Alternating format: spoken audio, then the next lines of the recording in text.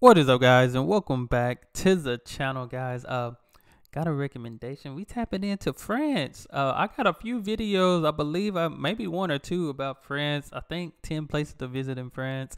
Then I did geography now France, and now we here with some facts about France. Uh, France is definitely one of those places. Gotta visit, gotta visit. You know what I'm saying? Um, all of Europe, really, but this is about France. We focusing on France. Y'all hit that subscribe button. Hey, send me some more video suggestions. And let's see these 10 incredible facts. In France, Christmas is a family holiday. Stay home. New Year's Eve is when you go out. Je vous servirai avec amour.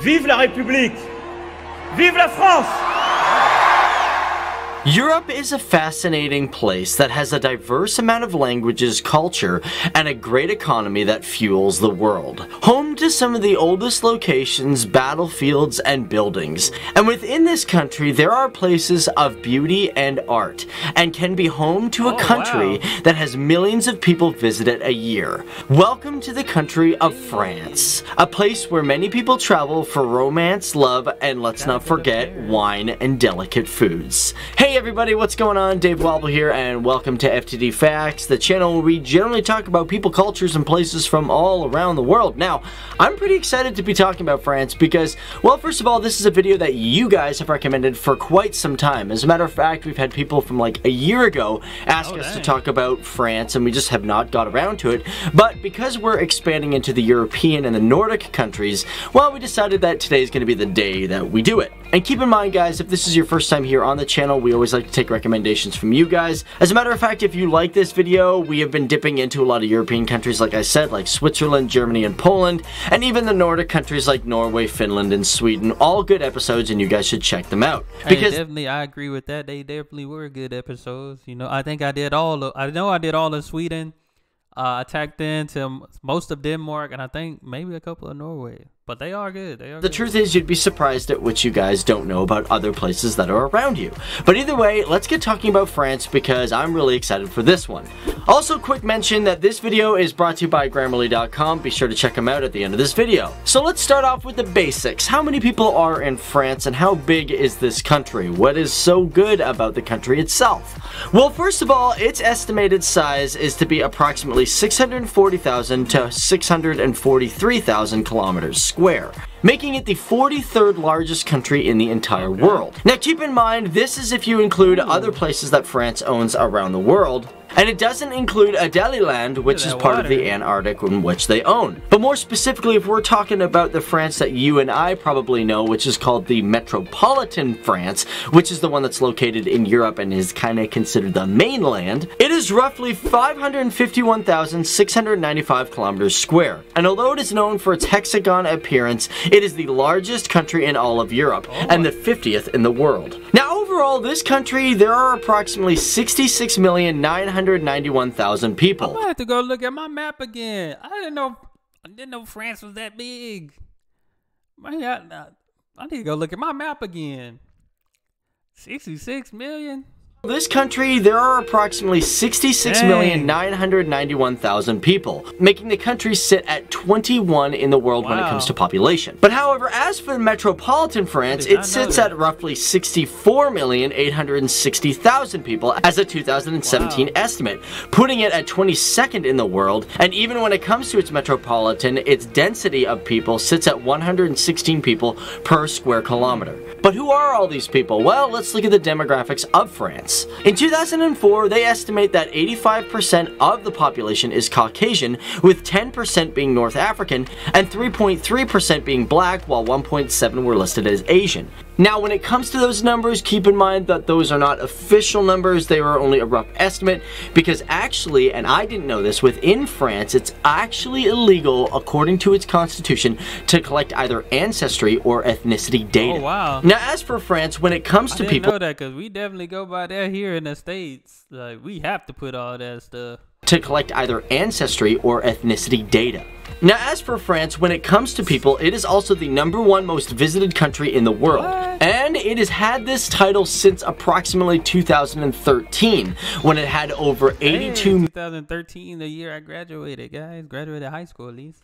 Title since approximately 2013, when it had over 82 million people visit the country. And for oh every crowded. single year since then, they've definitely had over 80 million people come in and visit France. However, ironically, it ranks fifth in the world when it comes to tourist spending, and in 2012, the spending from tourism contributed to 77.7 billion euros, making up 9.7% Oh of France's God. GDP. And the tourism in the country also provides approximately 3 million jobs for all the people of France, which is about 11% of the jobs in the entire country.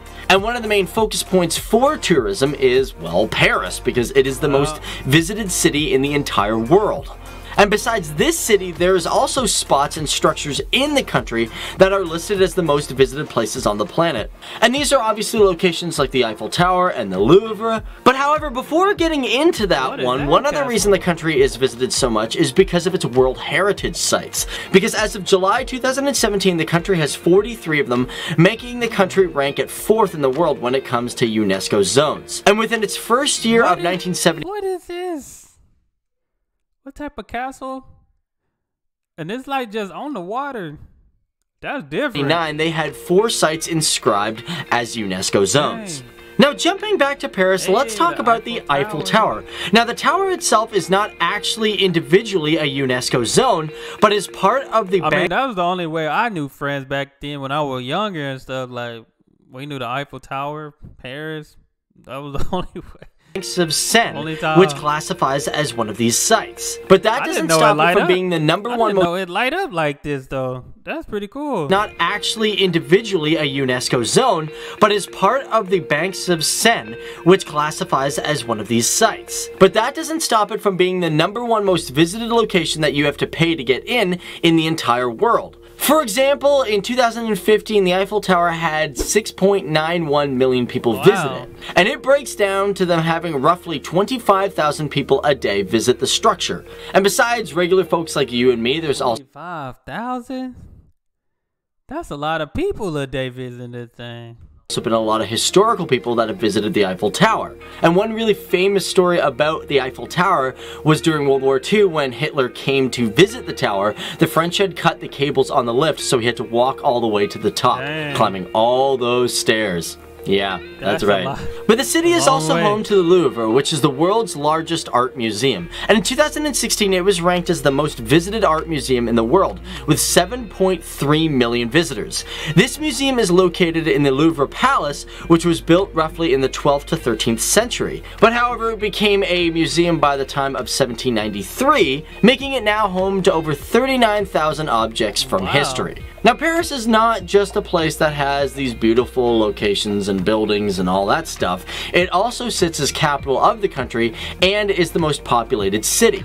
With over 2,229,621 people as of 2015, and the city's urban population sitting at 10,601,122, it is the largest urban area population in all of Europe. Wow. As well, it's a major financial center and center for art and sciences. And because of all these things behind it, the Paris region makes up $649.6 billion as of 2014, which at the time that was about. 30% of the GDP of France. On top of that, it's not just the largest in all of Europe, but it is the third highest GDP in the entire Wow. world. Now let's step away from Paris for a bit because we've actually talked about that quite a bit. Let's talk about France itself. Well, first of all, it's divided up into 13 different regions. Now in France, they actually call them regions instead of states and provinces, and these 13 new regions are actually pretty new because before 2016, they actually had 27 regions. Now how about some of the achievements of the country? Well, France has actually contributed a lot to the world. As a matter of fact, we can't even talk about all of them because it'll just fill well, we'll be talking forever, to be perfectly honest. It'll be like a half an hour video, and we won't even get to all of them. And to prove how much this country has accomplished, for Nobel Prizes, this country has the fourth highest amount of Nobel Prizes, with Okay, 61 Nobel laureates achieved from its scientists. The first one, which was achieved by an engineer who became a poet, Sully Prudhomme, in 1901 for literature, and the most recent was Jean-Pierre Sauvage in Jean-Pierre. 2016 for chemistry. And overall, this country country has introduced a lot into the world when it comes to inventions. First of all, they were the first country to ever put license plates on vehicles. Oh. And this began in 1901 when vehicles were mandated to have license plates put on them. And France is also the first country in the world to do a transplant of an artificial heart. This What? happened at the Georges Pompidou Hospital. Artificial heart.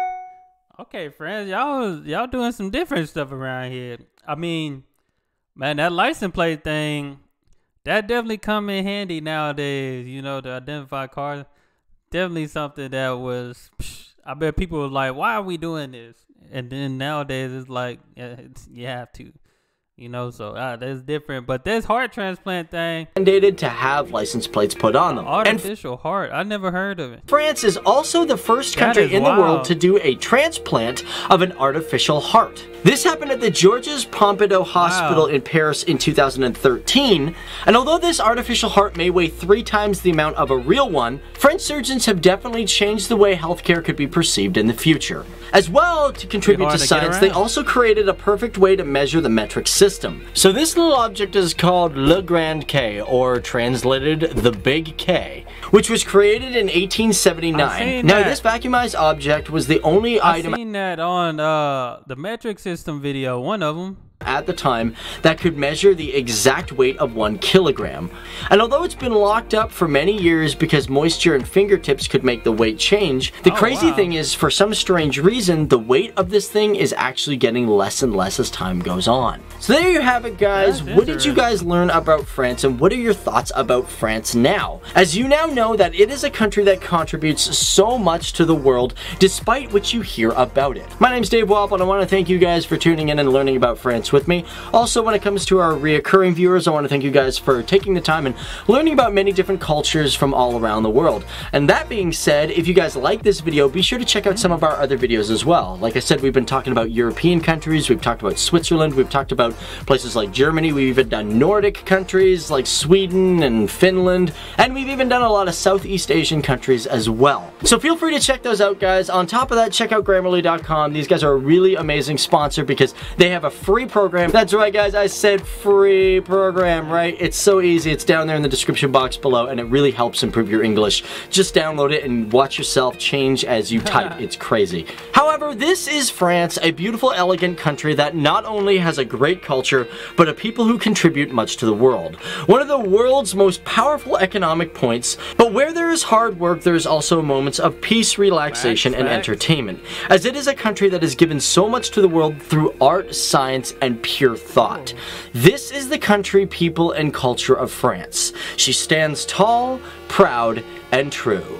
Viva la France. Okay, France. Okay.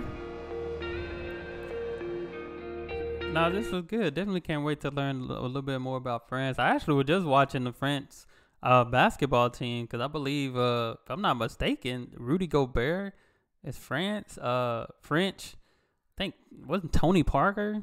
I believe. So these some guys, you know, I know through basketball and stuff like that. But no, this was good. Definitely uh enjoyed this. Can't wait to learn more about France. Like I said, I always knew France growing up. Just because of Paris, the Eiffel Tower, you know, it's a popular thing. So always knew that. So but this was interesting. So y'all make sure y'all send me some more video suggestions. Hey, y'all hit that subscribe button. That's all I have. Y'all be blessed, be the best, and be you. I'm out.